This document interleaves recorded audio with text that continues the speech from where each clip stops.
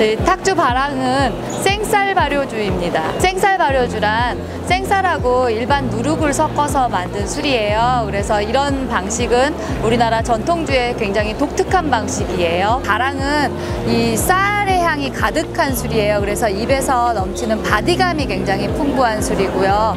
그리고 탁주 바랑은 이 적당한 산미와 단맛이 어우러져서 15도 고도수임에도 불구하고 도수를 잘 느끼지 못하는 술입니다. 그래서 굉장히 혼술에 적합한 술이라서 저도 굉장히 좋아해요. 어울리는 안주는 제가 생각할 때는 좀 기름진 음식에 괜찮은 것 같아요. 그래서 족발 같은 게 특히 생각이 나기도 해요. 그래서 족발에다가 그냥 이거 한 잔 딱 먹으면 기분 좋더라고요. 누룩치가 별로 없는 술이에요. 그래서 사실은 전국 그 전통주에서는 굉장히 최저로 한 1%대만 쓰고 있거든요. 그래서 저희 집안 내림술이 원래 그런 술이라고 우리나라 술 중에서도 이런 술이 있다고 알려드리고 싶어요. 제 9회 전국 가양주 대회에서 별바랑하고 이 바랑으로 입상을 했거든요. 장려상으로. 그래서 그 술을 그냥 면허를 내서 만들어 온 술이기도 하고 저희 대구 서시 어, 이런 독특한 술이 있다는 걸 좀 알리고 싶어서 나온 술이기도 합니다.